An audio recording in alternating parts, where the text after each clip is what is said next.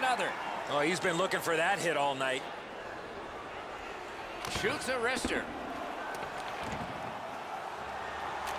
Got that pass near the blue line and now looks ahead. Crossbar! Score!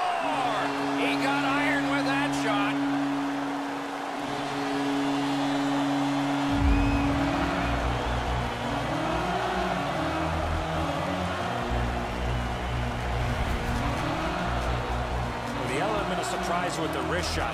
Get the goaltender in between. It's not how hard you shoot it, it's how quick you release it. And that was a quick release. Man, that's got to be frustrating from the goaltender's perspective. You're in the right spot.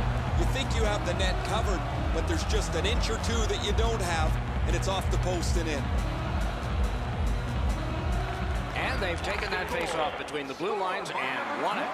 Bergeron's hooked on this play, and the arm of the referee is high. Referee over to the penalty